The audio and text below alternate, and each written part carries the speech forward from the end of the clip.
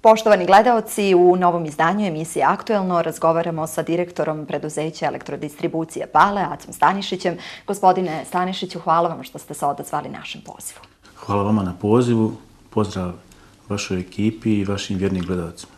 Hvala vam lijepa. E, gospodine Stanišiću, evo na početku da pomenemo da je prošle godine izvršeno restrukturiranje elektroprivrede Republike Srpske. Kažete nam e, šta to znači za vaše preduzeće u smislu proizvodnje, snabdijevanja i održavanja mreže, a šta znači za e, građane, odnosno potrošače?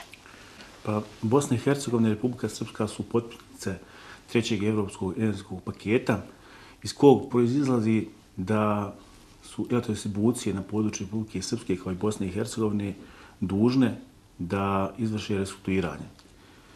Restrukturiranje je izvršeno u više pravaca. Jedan od najbitnijih pravaca jeste razdvajanje same proizvodnje iz djelatnosti naših preduzeća, izdvajanje javnog snadbjevanja i tržišnog snadbjevanja. Da pojasnim, javno snadbjevanje i tržišno snadbjevanje su dvije nove firme koje su, čije je sjedište u Trebinju i njihova nadležnost je e, fakturisanje i naplata potraživanja svojih korisnika. E,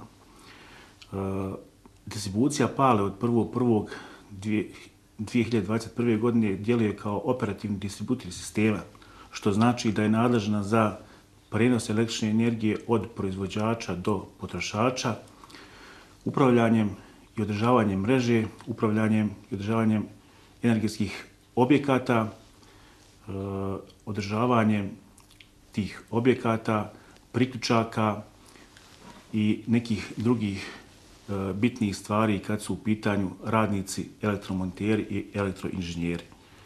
Od 1.4.2021. godine e, svi potrošači sa domaćinstva i potrošači koji u toku godine ne potroše 35.000 kWh su po zakonu postali uh, odnosno komitenti javnog snadbijevanja. E, to, znači, preduzeće se bavi faktursanjem i naplatom potraživanja. Tržišno snadbijevanje je također preduzeće u 100% vlasnika elektroprivrede Republike Srpske i ono je osnovano sa ciljem da e, vrši fakturisanje, obračun i naplatu od privrednih potrošača koji troše preko 35.000 kWh na godišnjem nivou. Znači, elektrodistribucija pale je u narodnom periodu, eh, odnosno od 1.4.2021. godine, nije nadležna za naplatu potraživanja od svojih bivših kupaca, već je to javno snadbijevanje. Ovom prilikom bih pozvao sve naše bivše potrošače koji imaju dugovanje prema elektrodistribuciji pale u periodu do 1. četvrtog 2021. godine ili imaju određene sudske procese da se javi u prostorije elektrodistribucije pale da napravimo reprograme za njihova dugovanja kako bi svi ti korisnici izbjegli određene, izbjegli određene sudske postupke kao i troškove koji proizlaze iz istih. Imaćemo smisla da izađemo u susret svim tim potrošačima i da im damo reprograme do 12 mjeseci za njihova dugovanja iz prošlosti. Također želim da kažem da distribucija pale nema nikakvu nadležnost nad dugovanjima nastalim u periodu od 1.4.2021. godine za potrošnju električne energije. Nadležnost za taj period je kod firme javnog snadbijevanja kada su u pitanju nadležnosti oko isključenja potrošača koji od 1.4.2021. pa ovamo nisu uredne platiše, moram da pojasnim proceduru. Javno snadbijevanje distribuciji šalje nalog za isključenje tog potrošača. Mi potrošača obavještavamo da ćemo u roku 72 sata, ako ne izvrši plaćanje, morati isključiti sa mreže. Ako potrošač plati izvesni dug, snadbjevanje taj nalog povlači u roku tri dana. Ako potrošač ne plati taj dug, mi izlazimo na teren naši ljudi i vrše istučenje potrošača sa mreže. U slučaju da potrošač ne dozvoli pristup mjernom mjestu, odnosno isključenje sa mreže, mi smo obavezi obavijestiti snadbjevača koji u narednom koraku šalje službena lica koji zajedno sa našim monterima izlaze i e, vrše isključenje tog potrošača sa mreže i sami sebi pravi dodatne troškove. Nadam se da neće biti u narednom periodu puno tih neplatiša, odnosno takvih situacija. Još e, kada je ovo pitanje aktuelno, moram da kažem da se efekti ovakvog restrukturiranja već osjete s obzirom da smo da jedan od zadataka bio i smanjenje broja radnika. Znači, u 2019. godini distribucija Pale imala 597 radnika, a danas ima 403 radnika. Broj oko 194 radnika kojih imamo manje nam objektivno pravi dosta ušteda, tako da se efekti tog restrukturiranja već danas osjete, a tek bi se trebali osjetiti u narednom periodu. Također, restrukturiranje je predvidjelo i odvajanje proizvodnje. U skladu sa tom odlukom mi smo sa prvim prvim 2022. godine formirali novo preduzeće koje se zove Obnovljivi izvori Bogatići i Mesići i to preduzeće zapošljava oko 40 radnika. U 100% vlasništvu elektrodistribucije Pale i sjedište je ovdje u zgradi elektrodistribucije na Palama. Nadamo se da će to preduzeće u narodnom periodu ostvarivati dobre rezultate, te da će u narodnom periodu izaći na evropsko tržište kada je u pitanju prodaje električne energije. Evo, nadamo se da su sad neke stvari jasnije našim gledovacima kad je riječ o vašim nadležnostima i zaduženjima. A evo, na početku ovog razgovora e, svakako moramo se dotaći još jedne teme koja je aktuelna. U pitanju su e, poskupljenja energenata i osnovnih životnih namirnica. Ono što sigurno sam najviše zanima naše gledalce jeste da li će doći do poskupljenja električne energije. Pa svjesni smo da kada dva, tri energenta, odnosno dva, tri artikla koja se najviše troše u proizvodnji i primenjuju se u proizvodnji u potrošnji naših stanovnika, da se desi da se reflektuju na sve ostale proizvode da dođe do postupljenja i drugih artikala. Ono što možemo sa sigurnošću reći da u narodnom periodu neće doći do postupljenja električne energije, sam rad vlade Republike Srpske i elektroprivrede je usmjeren na to da naši građani plaćaju najnižu cijenu električne energije ne samo u regiji, nego i šire. E, pa čak šta više i investicije koje su u toku i koje će biti u budućnosti u izgradnju novih proizvodnih pogona mogu da nam garantuju da ćemo i u budućnosti plaćati najpovoljniju cijenu električne energije u cijeloj Evropi. Kada već govorimo o električnoj energiji, imate li dovoljne količine električne energije, odnosno možete li u ovom trenutku obezbijediti kvalitetno i redovno snabdjevanje svih potrošača? Elektroprivreda Republike Srpske ima sasvim dovoljno električne energije, pa čak šta više i velik postak same proizvodnje plasira na evropsko tržište, od koje ostvarije određene benefite, odnosno dobiti, i tako vrši subvencioniranje cijene električne energije koja se fakturiše našim potrošačima. Sigurno će je biti u narednom periodu, pogotovo, kao što sam malo prekao, kada znamo da se trenutno radi na 7-8 projekata koji će u narednom periodu povećati e, količinu proizvedene električne energije u Republici Srpskoj. Snabijevanje električnom energijom je kada je pitanje distribucija pale u prethodne dvije godine e, dobro, odnosno kvalitet snadbijevanja se poboljšava. Poboljšava se iz razloga zato što vršimo određena ulaganja na našim mrežama i na našim energetskim objektima. I sigurno ćemo u narodnom periodu isto tako ovaj, nastaviti ta ulaganja i da će kontinuitet i kvalitet električne energije biti zadovoljavajući. E, kada govorimo o tim ulaganjima, zaista moramo reći da je naš grad trenutno u ekspanziji. E, opštine Pale, Istočno Novo Sarajevo, Istočna Iliđa, zaista su velika gradilišta. Koliki je to izazov za vaše preduzeće upravo u smislu e, širenja postojeće energetske mreže? Pa, nabrojali ste par opština u kojim je stvarno ekspanzija po pitanju izgradnje Istočna Iliđa, Istočno Novo Sarajevo, Pale i Jahorna su trenutno velika gradilišta i nadamo se da ova dešavanja zadnja u svijetu neće prekinti tu ekspanziju. Sigurno i našim predzeću kao i drugim predzećima koje se bave ulaganjem i održavanjem infrastrukture, to zadaje slatke muke, da kažem. Moram da kažem da je elektrodistribucija Pale u prethodnih, prethodnim godinama uložila e, 10 miliona vlastitih sredstava u proizvodne kapacitete Mesića i Bogatića i da je naravno u skladu s tim ulaganjem bilo određenih e, manjih ulaganja u uh, elektroenergetsku mrežu. S tim da su ta ulaganja završena i da ti proizvodni kapaciteti koji su ulagale donosi određen dobit, mi smo sad mogućnosti da nadoknadimo sve ono propušteno i da narodnom periodu posvetimo dosta više pažnje obnavljanju mreže i energetskih objekata. Fokus,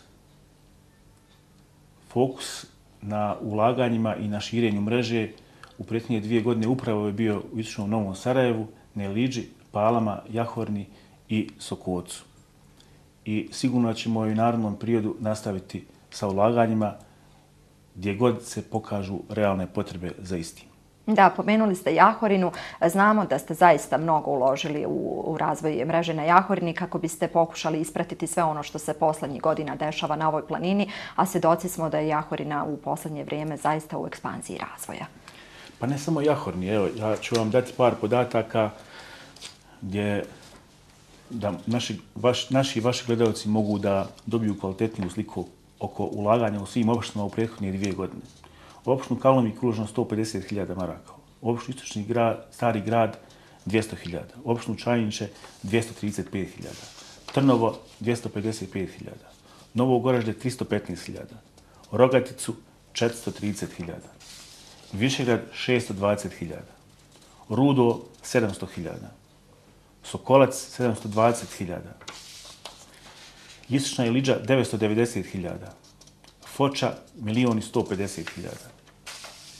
Opština Pale i Jahorina 3 miliona i 220.000 i Istočno Novo Sarajevo 1.700.000. Što znači da po potrebama sa terena iz opština, odnosno u skladu sa njihovim potrebama, i vršimo ulaganja. Sigurno da ćemo u narednom periodu ulaganja biti ako ne u većem, onda sigurno u iznosu kao i do sad. A što se tiče Jahornije, to je jedna posebna priča i vi dobro znate da je Jahorna u zadnje četiri godine e, postala regionalni turistički centar koji bilježi sve bolje uspjehe, zahvaljujući vladi Republike Srpske i Olimpijskom centru. Jahorna je postala poznata u cijeloj regiji i šire kao ozbiljna turistička destinacija koja naravno razvija se i u skladu sa svojim razvojem stvara potrebe za novim kapacitetima električne energije. Do sada smo uložili e, preko milijuna i 300 hiljada maraka na Jahornu svojih sestava. Prošle godine smo napravili osam trafostanica i položili smo kabal viskog napona sa pala do Jahorine, gdje smo osigurali rezervno napajanje za ovaj postojeći dalek vod. Za ne povjerovati je da se na Jahorni održana, održana olimpijada 84. godine, a da ta planina nije imala dvostruko napajanje, ali evo nema ga ni dan danas mi imamo obećanja od elektroprenosa koje tražu, traju malo duže, da će se na Jahorni u narodnom periodu, odnosno do kraja godine, krenuti sa izgradnjom e, trafostanice kapaciteta 2 puta 20 MW i sa novim dalekovodom koji će upravo biti taj dalekovod koji će moći pružiti sigurnost, odnosno rezervno napajanje. A to znači da u svakom momentu imamo električnu energiju na Jahornu, jer Olimpijska planina i regionalni turistički centar koji u zimskom periodu ima 7 do 8 hiljada turista ne smije ostati bez redovnog napajanja. Nadam se da će u narodnom periodu biti više, više sluha sa nivoa elektroprenosa i da ćemo obezbijediti dodatne količine električne energije koje su sigurne potrebne na Jahorini. Evo, ako izuzmemo Jahorno, zaista su impozantne sve ove brojke o kojima ste govorili. Ogromna sredstva su uložena u rekonstrukciju i širenje postojeće mreže. A koji su to najznačajniji projekti koje biste izdvojili, odnosno gdje su konkretno e, uloženi ti novci? Pa, kada je u pitanju Istočno Novo Sarajevo i Istočna Eliđa, e, moram da kažem da upravo zbog ovih ulaganja koje smo imali na, u prethodnom periodu u proizvodne objekte, nije se uh, moglo investirati u uh, visoki napon, odnosno iz trafostanice Ivanjić, koja je vlasništvo elektroprinosa, uh, nismo mogli da prenesemo dovoljno električne energije koja je bila potrebna. Pa čak šta više u jednom periodu januar, februar 2021. godine bili smo na samoj, samoj granici sa potrebnim kapacitetima. Naravno, prošle godine smo, posle te zime, smo djelovali prioritetno i uložili smo oko 800.000 maraka da bi doveli uh, pet kablova koji prenose visoki napon od trafostanice Ivanići do centra istočnog, istočnog Novog Sarajeva. I u narodnom periodu sigurno problema sa potrebama za električnom energijom dole neće biti pored ulaganja kapitalnog u istočno Novo Sarajevo, znači imali smo ovo ulaganje na Jahorni, na Palama također radilo se na poboljšanju kvaliteta e, mreže niskonaponske i visokonaponske u predjelu mokrog, e, buloga, podgraba, trebivića i nastavit ćemo u narodnom periodu ulaganja u, u, u visokonaponsku mrežu i u nisko, niskonaponsku mrežu. E, dodao bih još Sokolac u kom su potrebe za ulaganjima bile ogromne u prošlom periodu. Vjerovatno se gledalci sjećaju čak i nekih peticija stanovništva sa Sokovaca, ali uspjeli smo u prošle dvije godine zahvaljujući zahvaljujući upravi i vrijednim radnicima sa Sokoca i od distribucije da riješimo većinu tih problema. Sjećam se nakon mog dolaska na poziciju direktora da sam imao sastanak sa privrednicima iz Sokoca koji koriste dalekovod UNIS, gdje su mi ljudi prenijeli informaciju da je u toku jednog mjeseca da su ostali 53 puta bez napona što je nezamislivo. A uporedjeći to sa ovom zimom, gdje su u toku cijele zime nisu bili više od dva puta po pola sata bez napona, možemo da kažemo da smo stvarno jedan velik problem privrednicima riješili. Do njega nije trebalo da dođe, ali, nažalost, situacija je bila takva kao što jeste i nadamo se da u narodnom periodu neće više biti takvih situacija. E, kada govorimo o periodu koji je pred nama, pomenuli ste neke projekte vezane za Jahorinu, ali koji su to još projekti koje u narednom periodu planirate realizovati? Mi na Jahorini ćemo morati uraditi uh, novu mrežu po pitanju uh, dalekovoda i snadbijevanjem novih trafostanica od, od momenta kad se napravi ova nova trafostanica vlasništvo elektroprinosa. Mi ne možemo čekati da se ta trafostanica izgradi, pa da onda gubimo vrijeme i pravimo našu mrežu, već ćemo morati u narednom periodu da u, u, u ovoj godini da uđemo već u, u te poslove. Također, e, ono što je bitno naglasiti jeste da ćemo ove godine rekonstruisati dio dalekvoda od Podraba do Vrprače iz razloga e, sve više zainteresovanih ulagača u ulaganje u Vrprači. Mnogo zemlje parcijela je prodato, ljudi ulaze u gradnju i stvaraju se potrebe za novim e, uh, prikusima, odnosno za novim kapacitetima električne energije. Znači, renovi, vršimo rekonstrukciju tog dalekovoda i izgrađujemo dalekovod od Vrprače do Jahorne kako bi uh, dodatno osigurali uh, kvalitet električne energije na Jahorni i iznijeli 1 MW tim dalekovodom da imamo sigurnost određenih potrošača na Jahorni. Pored tog dalekovoda radit ćemo i rekonstrukciju e, uh, dalekovoda Trebevićkog, Pale, Jasik, Dvorišta i Jahorna. Sami znate da na dvorištima također imamo u zadnje vrijeme dosta ulogača, dosta ljudi koji odnosno uh, prave objekte i samim tim moramo im obezbijediti mogućnost priključka na mrežu i iz tog razloga kao isto i sa ovim dalekovodom u prači mi ćemo u ovoj godini renovirati odnosno izvršiti rekonstrukciju tog dalekovoda gdje ćemo omogućiti da imamo neprekidan napon na Jahorni sa ovim dalekovodom.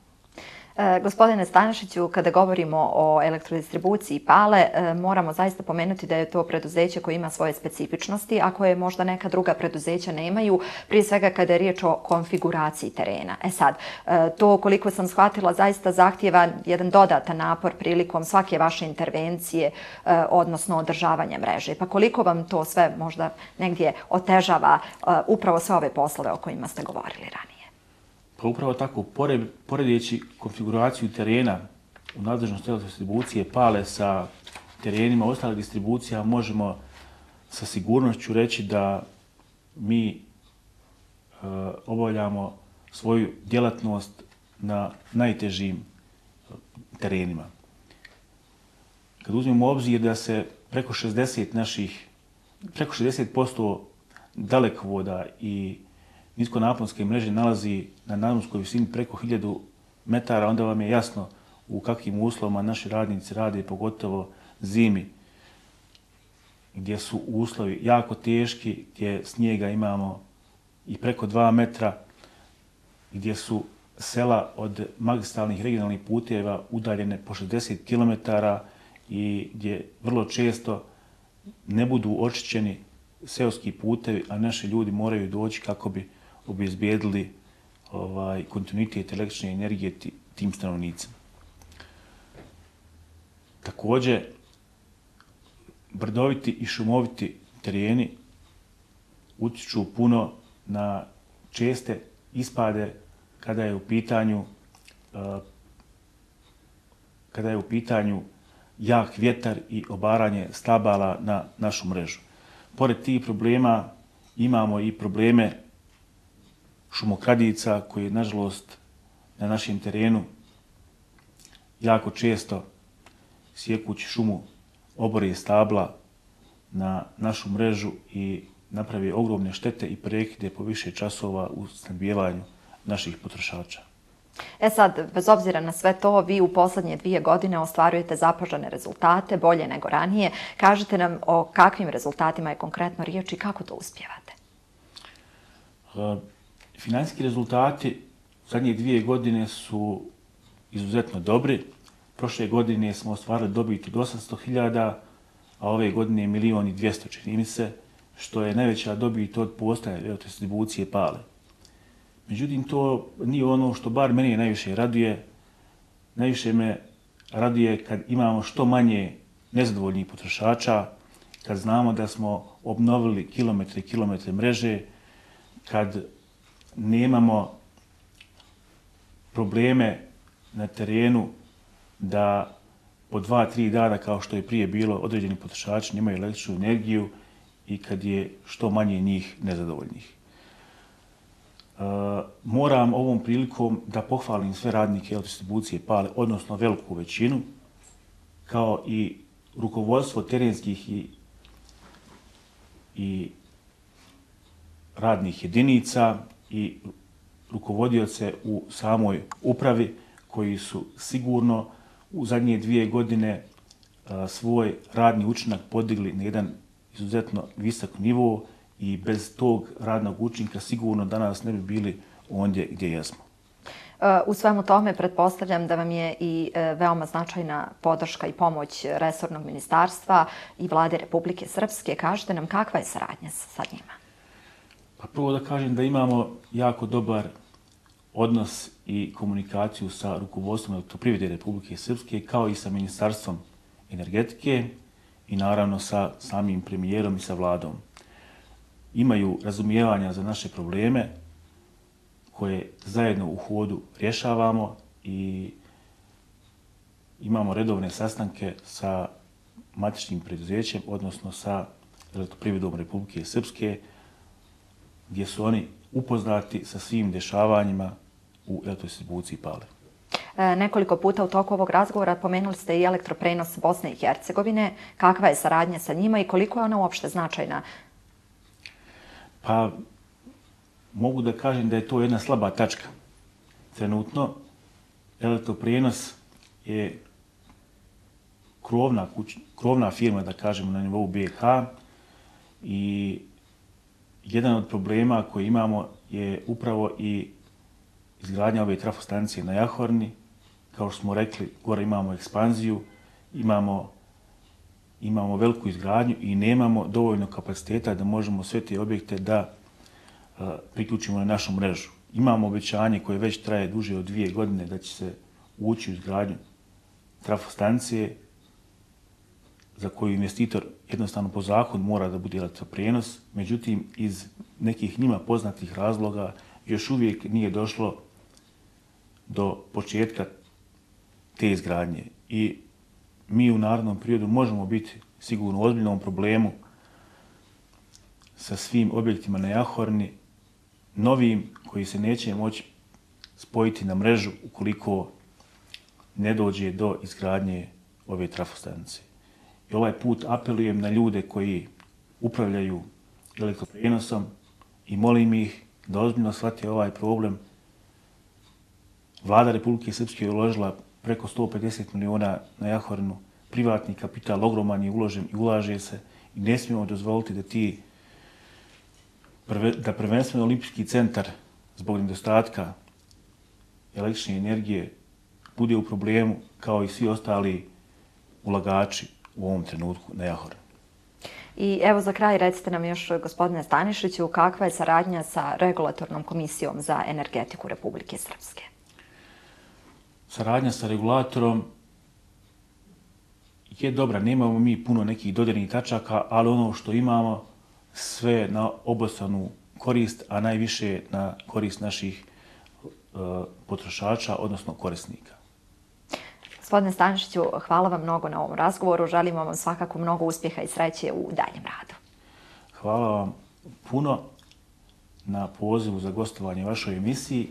Iskoristio bih ovaj moment da zamolim e, naše građane kada je u pitanju, kada su u pitanju proletni radovi i paljenje vatri, da to radi kontrolisano, jer Do sad imamo štetu preko 100.000 maraka u tim izazvanim požarima gdje dođe do pada mreže, odnosno paljenja stubova i tako dalje. Znači molimo ih da ne pale u blizini dalekovoda, u blizini niskonaponske mreže i naših objekata kako ne bi izazvali veću štetu i posljedice po i naš i njihov budžet. Hvala vam lijepo još jedan put. Evo i mi svakako ovim putem apelujemo na sve naše e, sugrađane da budu odgovorni kako bismo izbjegli ovakve i slične situacije. A vama se svakako zahvaljujemo što ste bili sa nama i ovog četvrtka. Ostanite i dalje uz program radio televizije Istočno Sarajevo.